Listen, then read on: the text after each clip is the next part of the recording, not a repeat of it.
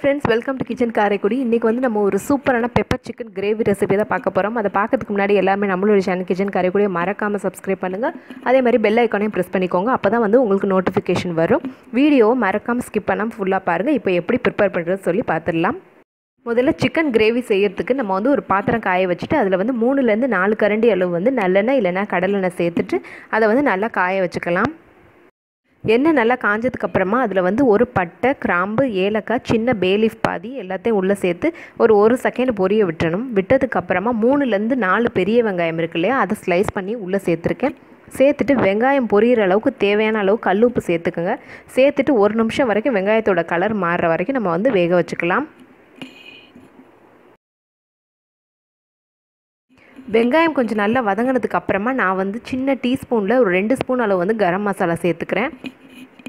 சேர்த்துட்டு அதை ஒரு நிமிஷம் நல்லா வதக்கி விட்டுக்கோங்க. வதக்கினதுக்கு அப்புறமா மஞ்சள் தூள் இருக்குல்ல அது ஒரு ஃபுல் ஸ்பூன் அளவு சேர்த்துக்குங்க. சேர்த்துட்டு அதையும் நல்லா ஒரு நிமிஷம் வதக்கி விட்டுக்கணும்.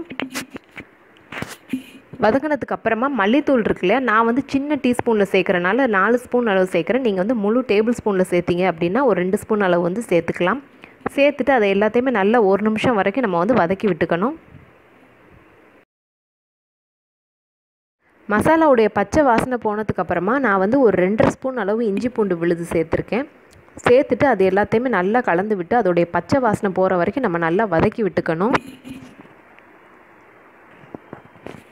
அது வதங்கினதுக்கு அப்புறமா நான் வந்து ஒரு ரெண்டு ஸ்பூன் அளவு மிளகுத்தூள் சேர்த்துருக்கேன். உங்களுடைய காரத்துக்கு தகுந்த மாதிரி மிளகுத்தூள் வந்து கூட்டவோ குறைக்கவோ செஞ்சுக்கலாம். இது பெப்பர் சிக்கனால் மிளகு மட்டும்தான் நல்ல காரம் கொடுக்கும். ஸோ மிளகு கொஞ்சம் ஜாஸ்தி சேர்த்துக்கிறது நல்லதும் கூட. அதனால் மிளகு சேர்த்து நல்லா வந்து ஒரு நிமிஷம் வதக்கி விட்டுக்கோங்க. வதக்கிட்டு இப்போ வந்து நம்ம கழுவி வச்சுருக்க சிக்கன் இருக்கு இல்லையா அது எல்லாத்தையுமே நான் வந்து உள்ளே சேர்த்துருக்கேன். சேர்த்துட்டு இந்த மசாலாவும் சிக்கனும் ஒன்றா கலக்கிற அளவுக்கு வந்து நம்ம நல்லா மிக்ஸ் பண்ணி விட்டுக்கணும். மிக்ஸ் பண்ணி விட்டுட்டு இந்த சிக்கன்லேருந்து தண்ணி விடுற வரைக்கும் நம்ம வந்து மூடி போட்டு வேக வச்சுக்கலாம். இப்போ பாருங்கள் சிக்கன்லேருந்து தண்ணி விட்டு ஓரளவுக்கு நல்லா வெந்திருக்கு. இருந்தாலும் இன்னும் நல்லா வேகிறதுக்கு நம்ம வந்து ஒரு அரை கப் அளவு தண்ணி சேர்த்துக்கலாம். சேர்த்துட்டு எல்லாத்தையும் ஒன்றா நல்லா கலந்து விட்டுருங்க. விட்டுட்டு உப்பு இந்த டைமில் கரெக்டாக இருக்கான்னு பார்த்து செக் பண்ணிவிட்டு மசாலா பத்தலை அப்படின்னா ஒரு அரை ஸ்பூன் வந்து நம்ம சேர்த்துக்கலாம். சேர்த்துட்டு எல்லாத்தையும் மறுபடியும் நல்லா கலந்து விட்டுட்டு மூடி போட்டு வேக வச்சுக்கலாம். சிக்கன் பாருங்கள் வெந்து நல்லா செமி கிரேவி ஆயிடுச்சு. இப்போ ரெடி ஆயிடுச்சு. நான் வந்து லாஸ்ட்டாக ஃபைனலாக ஒரு ரெண்டு ஸ்பூன் அளவு வந்து மிளகுத்தூள் சேர்த்துருக்கேன். நீங்களும் பத்தலை அப்படின்னா மிளகுத்தூள் வந்து சேர்த்துக்கலாம். சேர்த்துட்டு மல்லித்தழையும் சேர்த்துட்டு நம்ம வந்து சூடாக சர்வ் பண்ணிடலாம்.